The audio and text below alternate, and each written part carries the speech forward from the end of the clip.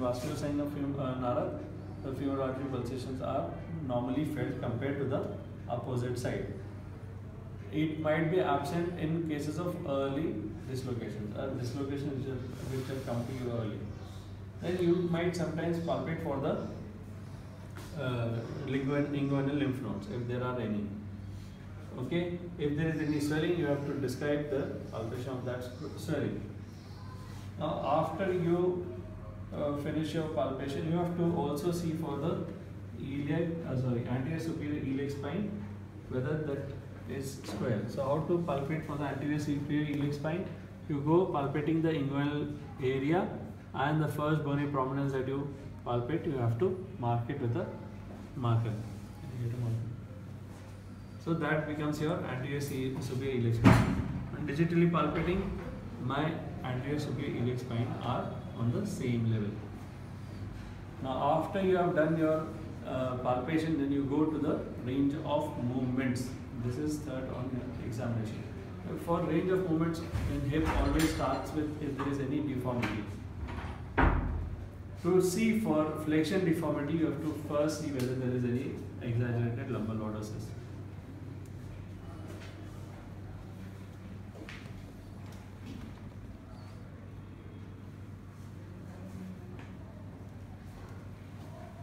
You have to make the patient absolutely calm and comfortable so that he cooperates with you in examination. Now, for me, both the ASIs are at the same level, and it, there can be a migration of ASIs if there is an adduction deformity, it migrates proximally. If there is an abduction deformity, the ASIs will migrate distally. After you finish your palpation, you have to see for the range of movement. If there is any flexion deformity, then you insinuate your fingers below the lumbar spine and you flex the opposite normal hip. You flex the opposite normal hip to such an extent where the lumbar lordosis should obliterate and the lumbar spine should touch your fingers. And then you see if there is any angle made by this thigh with the bed. If that is there, you again press it down. If it is going down, then you don't have any deformity. But if it is not going down, that means that there is a flexion deformity and you can measure it with a goniometer. Now that is called as Thomas test. The Thomas test is done for flexion deformity. Now once you determine that there is a flexion deformity of say 20 degrees, so you, uh, you the limb will appear like this and further flexion up to say like 90 degrees is possible then you will say further flexion up to 90 degrees is possible. So whatever amount of flexion beyond that it can be painful it can be painless. Or sometimes the patient might not have any problem and the limb will go completely compared to the normal side. Okay so this will finish flexion. If there is flexion deformity extension will always be absent. Otherwise you have to make the patient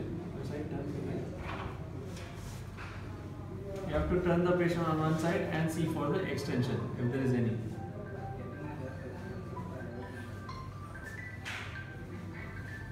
Cancel so you have to uh, see for the extension. Extension is usually 20 degrees in the normal hip after you finish flexion extension, then you see for the adduction, abduction movements. So before you go for movements, again you will have to see whether there is any deformity. So the deformity, if there is any apparent deformity, will be seen with the migration of the ASIS. So in an adduction deformity, the ASIS, ASIS will be proximally migrated. The anterior superior iliac spine will be proximally migrated. So you have to square the pelvis in that time how to square the pelvis from adducted uh, that proximally migrated position? You have to make the limb go in further adduction so the more you adduct the pelvis will come down. At one point both the ASIs will come at a normal uh, straight line and there you stop.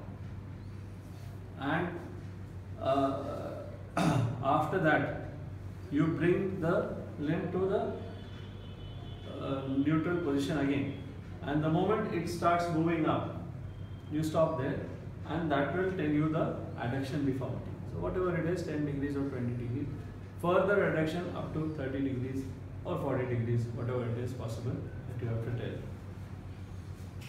If there is an abduction deformity, abduction deformity, the ASIS will be at a lower level and then the limb would be actually apparently long or depending upon whether there is any true shortening or not, it can be in its position.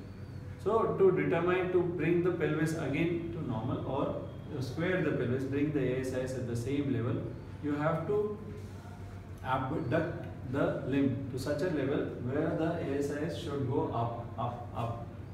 At one point, uh, it will come at the same level. Then you again adduct it to that level where it is going down. The moment you feel that the ASIS is moving, you stop there and that will tell you the abduction deformity. Further adduction, you check it and then it will tell you how much further abduction is possible. Okay. After you have done abduction, adduction, if there is any abduction or adduction present on either side, there won't be any adduction or abduction deformity because it, it, it is a corollary when whenever there is a deformity the opposite arc movement will be absent. So if there is movement in both the arcs that means there is no deformity